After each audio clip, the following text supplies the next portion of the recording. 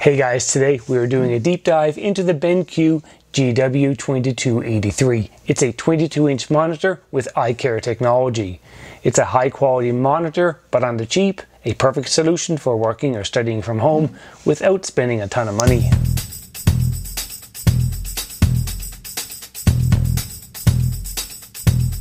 So right off the bat here, let's talk about price. These monitors cost about $160 American each, and I picked up two of these on Amazon to create a comfortable home workplace. By the way, links for everything seen here today will be in the description below.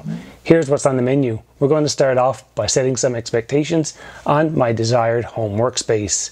Then I'm going to show you what's included in the box.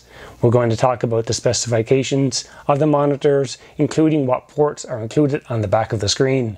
After that, I'm going to install the stand and show you how that operates. Even though I won't be using it in my final setup, I've picked up one of these dual monitor arms to save on desk space. I'll quickly show you the install process of those arms. And once we get things up and running, we're going to check out some video playback, including gameplay. Then I'll demo how this screen can be used in conjunction with a security camera setup in any room of your home or office. Lastly, we're going to check out some of the eye care settings, which is important if you have a lot of daily screen time. And then we're going to end off with some final thoughts. So lots to cover today. Let's get rolling. Okay, so for me, let's talk about the purpose of this setup. I wanted two quality screens that weren't going to give out or cause me trouble down the road. I'm not interested in flaky hardware with a history of problems like missing pixels, black lines, or flickering screens. I would be using this screen for a home office, including Word, Excel, email, watching YouTube videos in some downtime, or maybe even playing a game or two. But I don't need a 4K screen or that expense. I want the option to hook up the screen to a gaming console if desired, but again, I don't want the expense of 4K. I have a small desk and I will be sitting close to the screens so I don't want any large screens to make me feel sick or give me vertigo after working from home all day so a 22 to 24 inch monitor will suffice. I also didn't want to spend a ton of money on this setup so I ended up finding a pretty sweet solution at an awesome price point. Also, the number of 5-star Amazon ratings and bonus features made this purchase a no-brainer and now I have a pretty sweet setup. Let's check out what's in the box. So when I slide out the styrofoam, everything is very nicely laid out.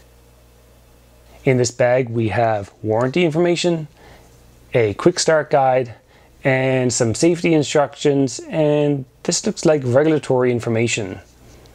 Next we have a VGA or a D-sub cable, the screen supports the older VGA technology and in case you don't have a cable, they've included one, but there's no HDMI cable included. I'll add links to the ones that I used in the description below for you to check out. And here we have the power cord, pretty standard.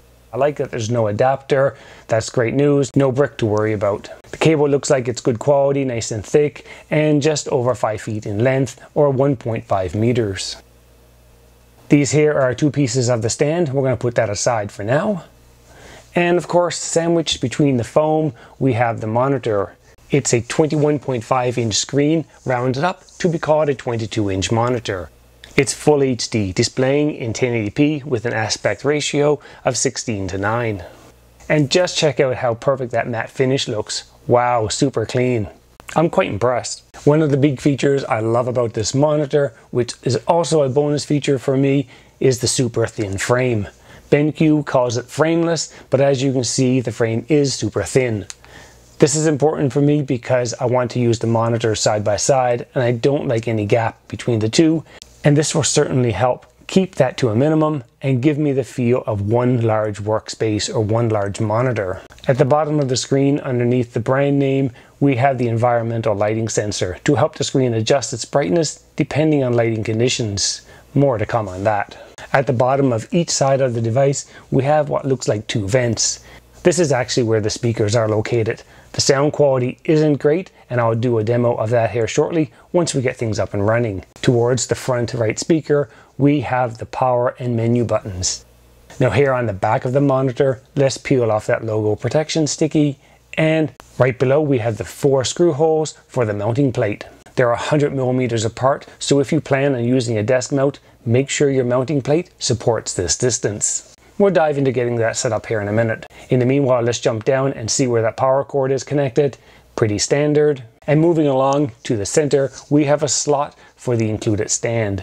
Notice there's a release button on top of this mount to remove the stand. Here is a quick demo of how that works and setting up the stand.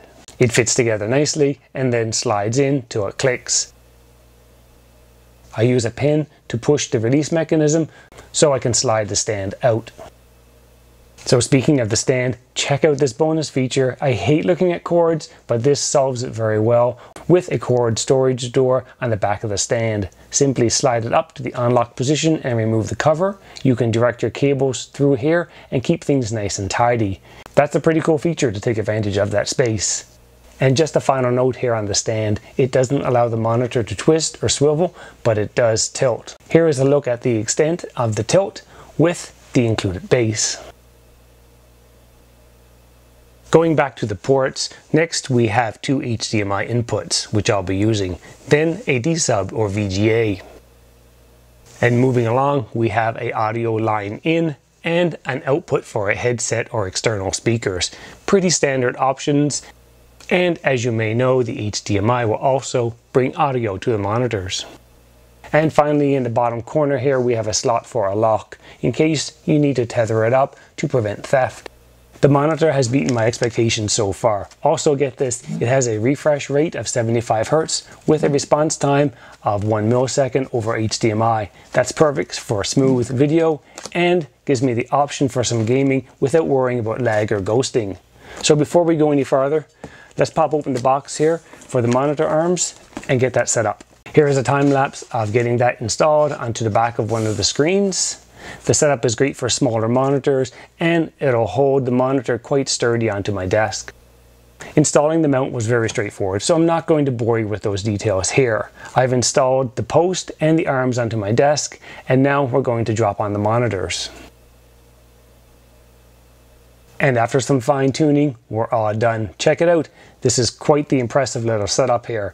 Very clean, lots of desk space for books and whatnot. With the low adjusting of the arms, the monitors fit together perfectly with no visible gap in between. That's exciting. Alright guys, so here's a quick rundown sitting here at this small desk. Got my laptop.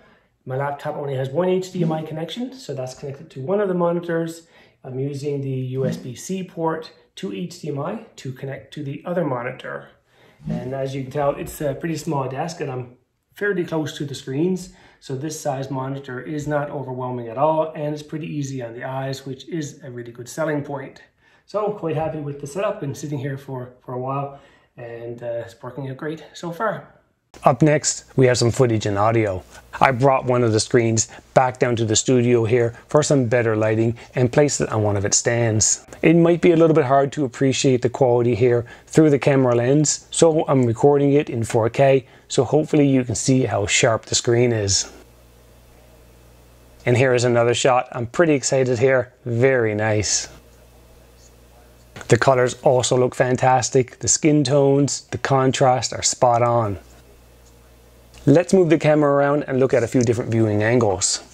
Very impressive to say the least, and for $160, what a steal. Now as you can tell, the audio isn't perfect, but since I'll be using a headset, not a deal breaker. And that's for listening to birds and any surrounding sounds. Now I'm going to share a few clips of some gameplay video. I don't see any jitter or ghosting here. Looks very nice, no issues that I can see. For those of you who follow my channel, know that I talk a lot about security cameras. So let's integrate this monitor into that system. In this scenario, we have the monitor connected in my network room to my Reolink NVR or network video recorder over HDMI. As you can see, the colors look great and this is a perfect little monitor for this kind of setup. Let's zoom in here a little bit and see that quality even closer. The NVR is here in my basement, but I can use network extenders to broadcast that HDMI signal anywhere on my home network, allowing me to set up this monitor in any room where I have access to that network. Here I have the monitor set up in my kitchen where I can quickly glance over and keep an eye on things. And here's the monitor again in my wife's craft room so she can keep an eye on the property. Again, the HDMI signal is passing from the NVR over my home network to the monitor with no lag. This monitor obviously works perfect as part of my security camera system and a dedicated video for these extenders can be found on my channel. So do check that out for more information. Now the last topic I want to talk about is the eye protection features of this monitor, which is another bonus for me. Again, as I'm recording the screen here, you might see some wavy lines since the camera's shutter and the monitor's refresh rate aren't in sync. This is not too bad here and I'm zoomed in pretty good. The first feature is eye care. The screen's brightness will adjust given the amount of ambient light present in the room. I'll go ahead and activate this feature and use my bright studio lights to represent daylight and I'll place my finger over the light sensor to represent darkness. I'll turn on the brightness intelligence setting. The sensitivity is 50% by default. We know that eye care is active because we see this icon showing the current ambient brightness in the bottom right hand corner. I'll go ahead and place my finger over the sensor and the icon indicates a low level of light. And at this point, the monitor is going to lower its brightness. I'm going to fast forward here so you can better see the difference in the brightness. And now when I lift my finger, the screen is going to get brighter to better match the lighting in the room. I'll replay that and fast forward it so you can better see the change. I've been using this feature for a few months now and it's really nice on the eyes, especially when working when the sun is shining into the office and I need the screen brighter versus at night when I like it a bit dimmer. Pretty cool. The second eye protection feature takes us to picture mode, where we have several display options like low blue light, movie, game, and so on. The low blue light option is the real eye saver here. As I move through each of these options, you can see more and more blue light getting removed from the image. My preference here is the first one, multimedia. Checking out the other display options, and as I scroll through the options, the screen's brightness changes. Alright folks, that takes us to the end of the review. I've been using these two monitors now for about six months and I still love them. They are the perfect setup for a home office, a student's workspace, or even a security camera display. The size is perfect, not too overwhelming. The quality is perfect for my office work, watching YouTube videos, and for some casual gaming.